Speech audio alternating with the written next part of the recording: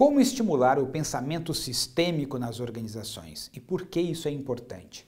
Vem comigo na reflexão de hoje.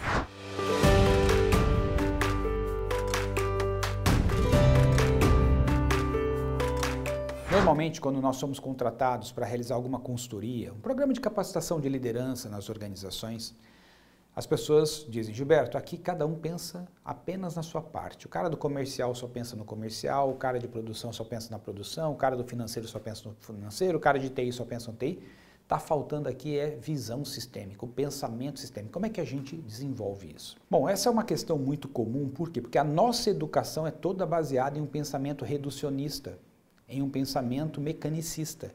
Porque ele veio de, de pensadores do século XVII que tinham um pressuposto que era o seguinte: se você conhecer as partes, você conhece o todo. Em outras palavras, se você conhecer como esse relógio, cada parte que compõe esse relógio, você desmonta o relógio, você monta o relógio novamente.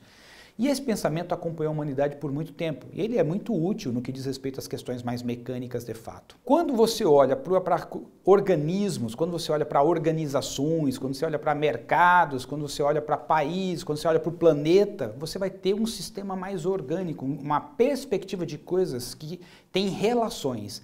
Não é só entendendo as partes, mas é entendendo como elas se relacionam, como a ação de uma gera consequências para outra. Então, como é que a gente leva o pensamento sistêmico para dentro de uma organização? Nós temos que fazer uma alfabetização sistêmica, porque na escola, na faculdade, a gente aprendeu uma visão mecanicista, reducionista.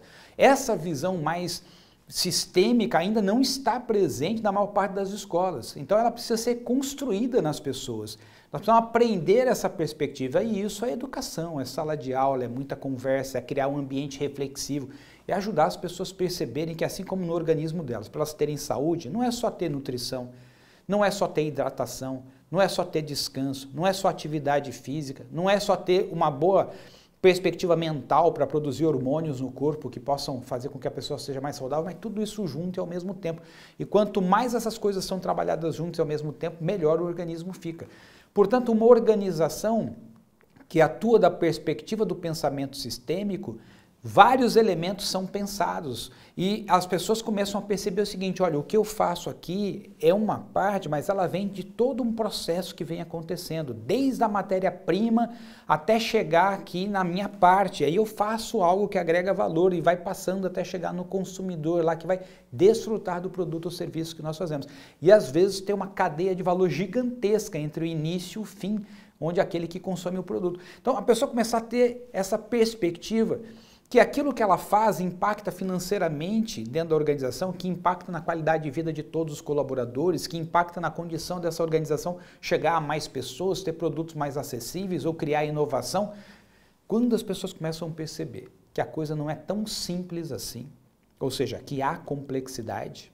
Aliás, essa é uma bela distinção entre um pensamento reducionista, mecanicista e um pensamento sistêmico. No pensamento mecanicista, reducionista, o que, que nós temos? Nós temos a perspectiva que o mundo é simples, estável e objetivo. Já na perspectiva sistêmica, o mundo é complexo, instável e intersubjetivo. O que significa isso, Gilberto? É complexo porque você não pode pegar uma coisa só e falar assim, ah, essa pessoa reagiu assim porque fez esse sorriso. Não, na verdade a pessoa fez aquele sorriso, tinha um monte de memórias dentro daquela pessoa, de coisas que ela viveu ao longo da vida dela. Fruto dessas memórias dispararam emoções dentro dela, essas emoções disparadas fizeram com que ela perdesse a capacidade de raciocinar e ela teve essa atitude. Seja, é muito mais complexo do que simplesmente foi aquela, aquele sorriso que disparou tudo isso. Tem toda uma história por trás disso.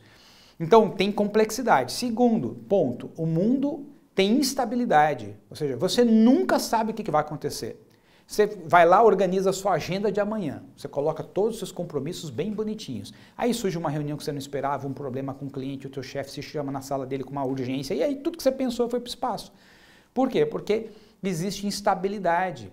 A instabilidade econômica, a instabilidade na política, a instabilidade ecológica, né? como o fruto da pandemia que estamos vivendo no mundo inteiro, uma coisa que ninguém tinha previsto.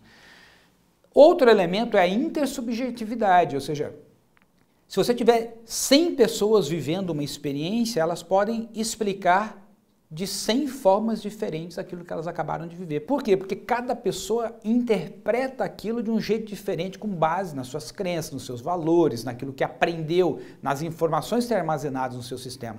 Então, por isso que se diz, cada cabeça é um mundo. Quando você pega uma organização que tem 10 mil colaboradores, 20 mil colaboradores, 80 mil colaboradores, você imagina, você tem 80 mil mundos diferentes ali dentro.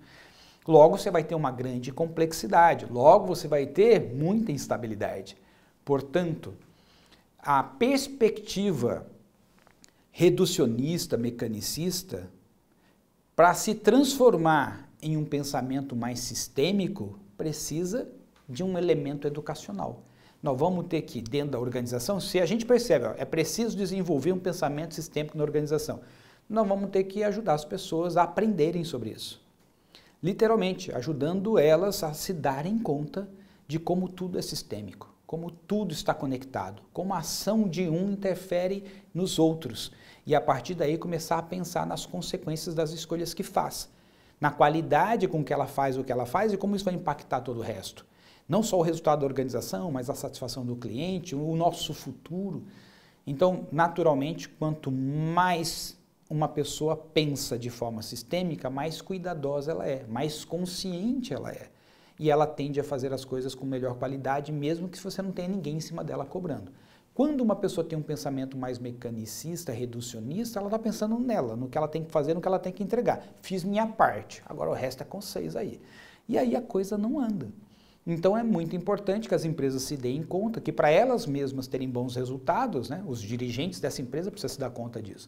Nós temos que fazer uma alfabetização sistêmica. Quarta-feira que vem te espero aqui com uma nova reflexão, um novo conteúdo. Tenha uma excelente semana e até lá. Um grande abraço. Tchau, tchau.